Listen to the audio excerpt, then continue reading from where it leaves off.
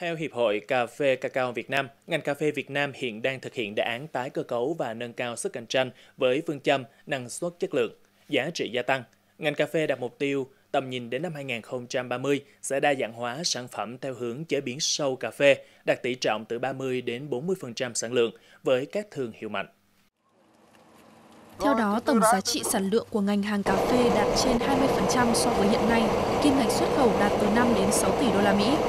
Để đạt được mục tiêu này, ngành cà phê đang hướng đến nâng cao hàm lượng chế biến ngay từ khâu sơ chế thông qua việc nâng tỷ lệ sử dụng nguyên liệu cà phê có chứng chỉ, nguyên liệu đạt tiêu chuẩn Việt Nam.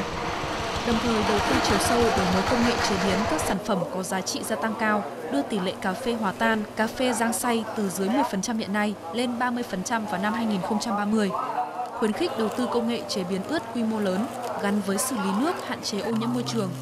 Hiện cà phê Việt Nam đang chiếm khoảng 15% thị phần toàn cầu, đứng đầu thế giới về sản xuất, xuất khẩu cà phê Robusta và đứng thứ hai về xuất khẩu cà phê nhân. Ngoài các mác tàu thống nhất thường xuyên và tăng cường, đường sắt Hà Nội dự kiến lập thêm khoảng 22 đoàn tàu đi các tuyến, bao gồm 15 đoàn tuyến Hà Nội Vinh, 4 đoàn tuyến Hà Nội Hải Phòng và 3 đoàn tuyến Hà Nội Đà Nẵng